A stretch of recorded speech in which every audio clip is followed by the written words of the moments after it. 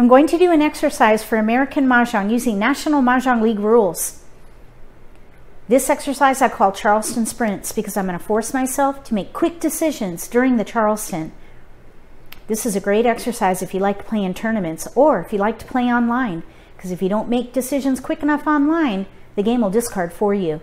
My goal is to make decisions in under two minutes as an average. If you are an intermediate player, try making decisions in under three minutes. If you are a beginner, start with four minutes and then push yourself to make quicker and quicker decisions.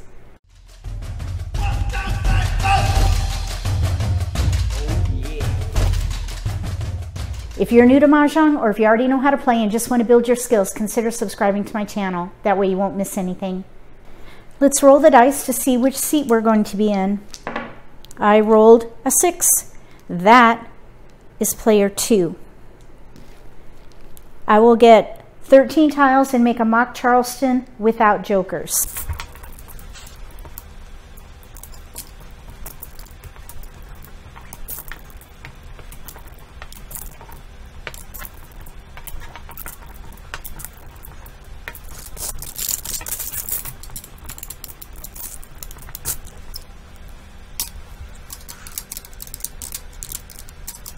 Okay, no multiples.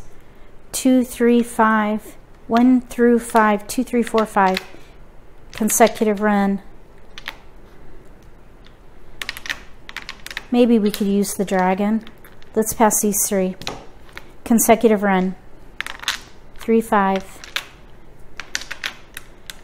Here's dragons. Not the right dragon though or like numbers with fives. We have all the fives. Two, three, six. Okay, three, one, three, five, three, five, three, five, five, threes, fives,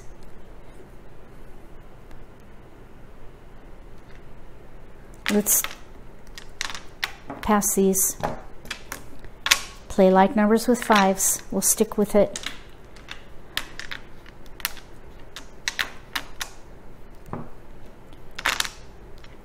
No keepers. There's five. Pass, pass. No keepers. Optional.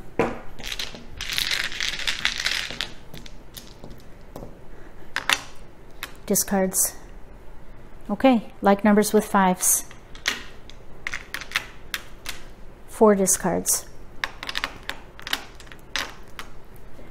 That was kind of hard though. The three, five, we had no ones though, or the ones trickled in at different times. Otherwise, I might have tried to play one, three, five. I think I'd keep the three just to see if it comes back, but we have no ones. I think like numbers with dragons is what I would play here. Oh, that was hard.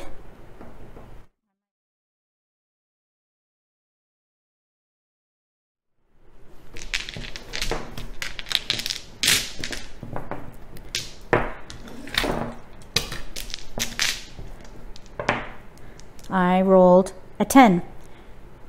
8, 9, 10, player 2.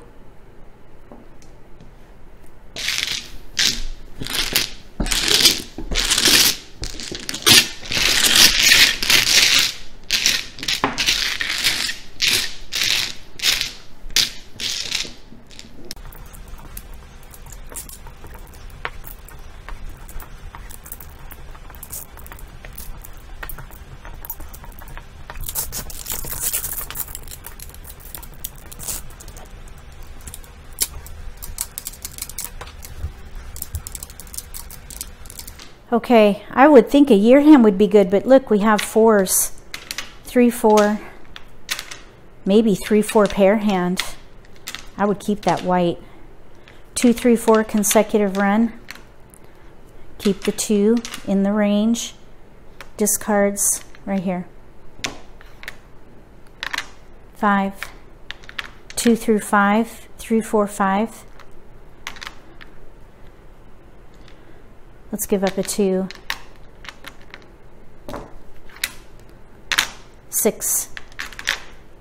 Three, four, five, six, two. We have tiles we can pass. That's a little risky. All one suit. One. One through five. Let's give up maybe this six and the dragon. One, two, three, four, five, three, four. Let's pass these. Nine and seven. One through seven pair hand. Let's pass these. Seven. Pass these. Flower. one, two, five, seven, five, seven, twelve pair uh, addition. I think I would pass the white dragon to get a full pass. Lap. Okay, I would do addition or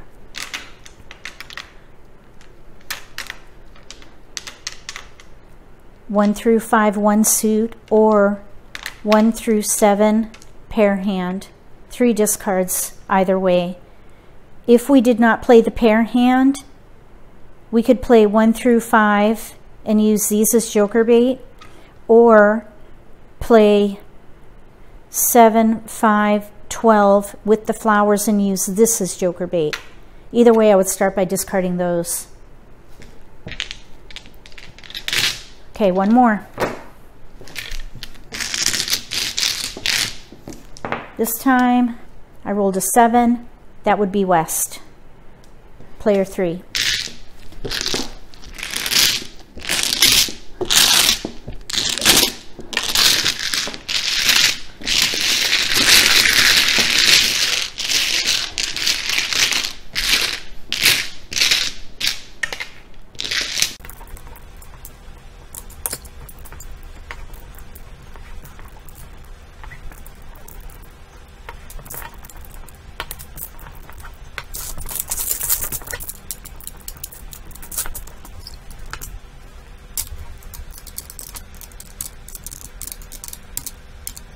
No multiples. Ooze. We're close to having news. We do have year tiles. News. We do have fives. Let's pass these three. I'm thinking like numbers with news, pair hand, or a year hand. There's an east, or maybe winds. Let's pass. Let's give up on the year. Play winds. Winds and dragons. Let's get rid of the nine in here. Pair. That could be good joker bait.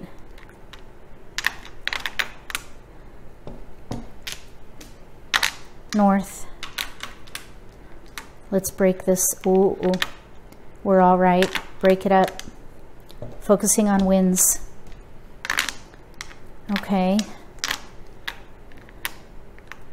One of each suit. Flower. Optional.